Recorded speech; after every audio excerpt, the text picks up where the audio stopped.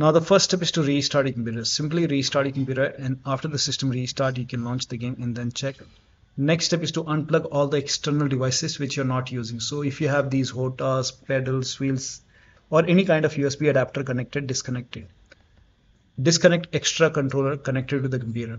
Disconnect multiple monitor. Try launching game on single monitor. If you're using VPN close VPN or you can disable VPN and then check disable overlay. Now for this go to steam make a right click on the game select properties and go to the general tab. Turn off the option which is enable the steam overlay while in game and then check. Now the next step is to disable overlay in discord. So you can go to discord settings go to game overlay and you can disable it. If you have overlay on in geforce experience close it uh, you can turn it off or you can simply close all the overlay application and then check. Also close all the overclocking applications like if you have MSI afterburner running or Rivatuner running close it. If you have undervolted you can be remove the undervolt. Close all the background application.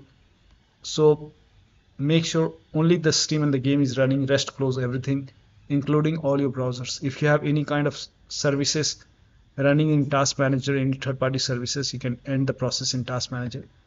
Close Firefox, Chrome browser, or any third-party application. If you have undervolted, you can be able to remove the undervolt. Now the next step is to rename or delete the save game files. Now when you rename or delete the save game files, you will lose all the game progress. You have to start everything from scratch. To do so, if you agree, you can open File Explorer, go to the spacey, open C drive. Now open users folder. Now open your username folder now open app data folder. If you don't see app data on the top click on view select show and then put a check on hidden items and then open app data open local low and over here you can see m7 production underscore 832 so you can make a right click on this folder and just you can rename it whatever you want. I will just rename it dot .old and then you can launch the game and then check. You can even try you can delete this folder and you can launch the game but you will lose all the game progress now the next step is to run the game as an administrator from the game installation folder. Now for this you can go to Steam, make a right click on the game, select manage, now click on browse local files. Now over here you will see the game exe file. Make a right click on the game exe file and then you can go to properties, go to this tab and then put a check on the box which says run this program as an administrator, hit apply click on OK, launch the game from here. Make a double click, launch the game. If that does not work, go to properties and then this time put a check over here. Select Windows 8, hit apply, click on OK, launch the game and then check still not working. Again, make a right click on the game exe file and then this time select Windows 7 over here, hit apply, click on OK, launch the game, still not working. Put a check on disable full screen optimization, hit apply, click on OK, make a double click, launch the game. Now, when you put a check on all these boxes, still not working, then you can uncheck these boxes. And then hit apply, click on OK, follow the next step. Now, the next step is to, if you're using any third-party antivirus like Avast, Norton, Bitdefender, McAfee, whichever antivirus program you're using, make sure that you allow the game exe file to your antivirus program. Now, if you're using Windows Security, then open Windows settings, go to privacy and security, and then click on Windows Security now click on virus and threat protection. Scroll down at the bottom, you will see manage ransomware protection. Click on it. Now click on allow an app through control folder access. Click on yes to allow. Click on add an allowed app. Click on browser apps. Now go to the game installation folder. So if the game is installed in C drive, open C drive program files x86. Now open the Steam folder. Now open the Steam apps folder. Now open the common folder. Now open the game folder. Select this exe file. Click on open. Now type in control panel in Windows search box and then click on control panel. Now click on system and security and then click on Windows Defender Firewall. Click on allow an app or feature through Windows Defender Firewall. Click on change settings on the top. Click on allow another app. Click on browse and then go to the game installation folder once again and then open the game folder. Select this exe file. Now click on open and then click on add in my case uh, the game is already added. So once the game is added over here now you can launch the game and then check. Next step is to try dx11 or dx12 in launch option. So make a right click on the game select properties. In the launch option you can type in dash dx11 now you can close this launch the game and then check still not working. Make a right click once again. And this time you can type in dash dx12 now you can launch the game and then check still not working you can remove this and then follow the next step. Now the next step is to perform a clean installation of your graphics card driver. So if you have nvidia card go to nvidia website. If you have amd card go to amd website. I'm showing for nvidia. So go to NVIDIA website. Now on this website, make sure that you select your series, select your graphic card over here. Now once you select your graphic card over here, make sure that you select the right operating system and then click on find. Now once you click on find, you will see this page, the latest one, the latest driver will be on top. So right now it's 560.94. Now click on view over here and then click on download and once the download is complete you can run the exe file once you run, run the exe file you will see the screen click on agree and continue and then select custom option over here. Now select next and then put a check on the box which says perform a clean installation. Make sure that you put a check on perform a clean installation and then click on next. And once the installation is complete then restart your computer and after the system restart you can launch the game and then check.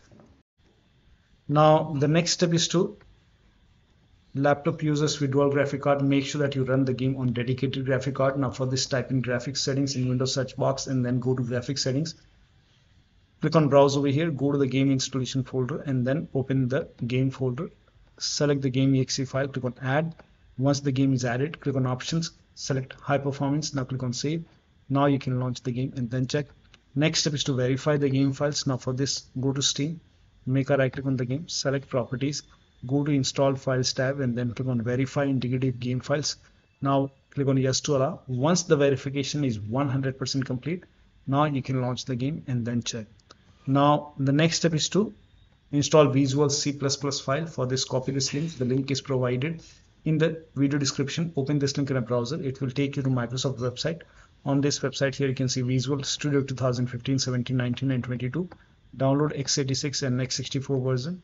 So click on the exe file and then run this exe file now if you see the repair option click on repair if you see the install option click on install. In my case it is already installed. It's telling me to restart my computer. I've already installed it. Ignore this error. Now download this x64 and then run this exe file as well.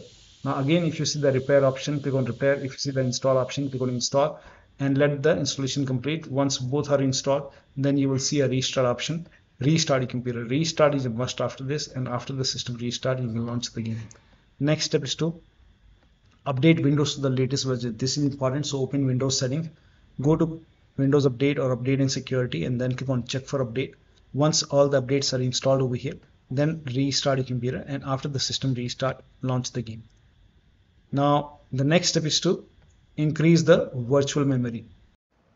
So to increase the virtual memory, type in view advanced system settings in Windows search box and then click on view advanced system settings and then click on the first settings and then go to advanced tab and then click on change over here and then select the drive so uncheck the box which says automatically manage paging file size for all drives. Uncheck this box and select the drive where the game is installed. So select the drive and then once you select the right drive, now put a check on custom size and for initial size it's 1.5 into total RAM. So you can check the total RAM in Windows settings. You can go to system and then go to about and total RAM in my case is 16 gigabyte. So you can calculate accordingly in my case it's 16 GB so I will calculate as per 16 GB so and first of all we have to convert 16 GB into megabyte so we will open calculator so type in calculator in run box and then click on OK and over here uh, it's 16 1.5 into total RAM. Total RAM in my case it's 16 RAM 16 GB. So 1 16 into 1024 1024 is actually 1 GB is equal to 1024 megabyte. So 16 GB in megabyte will be 16384 into 1.5. 1.5 into total RAM. This is my total RAM in megabyte. Now 1.5 into total RAM, total RAM that is into 1.5. So in my case, initial size is 24576. 24576 and maximum size is 3 into total RAM. Now total RAM in my case that is 16 gigabyte. I have 16 gigabyte of RAM. So 16 into 1024 I have converted this in megabyte. Megabyte now that is 3 into total RAM. So total RAM is this much into 3 that is 49152 49152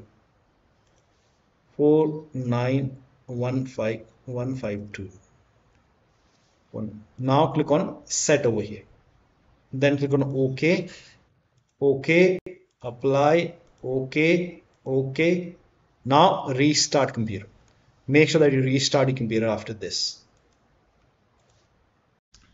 Now the next step is to uninstall and reinstall the game to different drives. So if nothing is working you can just make a right click on the game select manage and then click on uninstall. Now after the uninstall go to the game installation folder delete the game folder restart your computer and then install the game to C drive so if the game installed to D drive, E drive or any external drive, try to install the game to C drive and then check. If the game is already installed to C drive, then try to install the game to another SSD and then check.